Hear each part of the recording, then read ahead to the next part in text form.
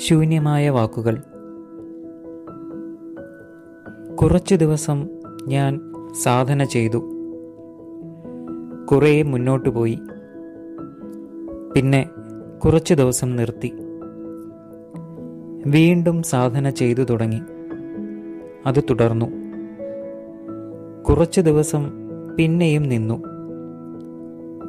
തുടരുകയും നിൽക്കുകയും വീണ്ടും തുടരുകയും എന്താ ഇങ്ങനെ? മനസ്സിലെ തിരമാലകളുടെ സ്വാധീനത്താൽ ഇങ്ങനെ സംഭവിക്കാം. സാധന തുടങ്ങിയപ്പോൾ നാം മനസ്സിന്റെ എതിർപ്പ് ശ്രദ്ധിച്ചില്ല. അതിനാൽ സാധന തുടങ്ങി. തുടർന്ന് മനസ്സിനെ ശ്രദ്ധിക്കാൻ തുടങ്ങിയപ്പോൾ അത് എതിർത്തു തുടങ്ങി.